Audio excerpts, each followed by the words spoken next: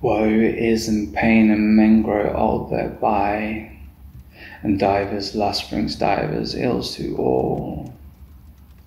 And through our lust it is we trip and fall, and through our lust it is that many die. This much knowledge have I perfectly, a hard creed but believed by every man a true creed, though no man dare call it so. A truth beginning when the world began. A truth that ends with the world's overthrow. And I have learnt it and believe and know. But more remaineth for us, this it is.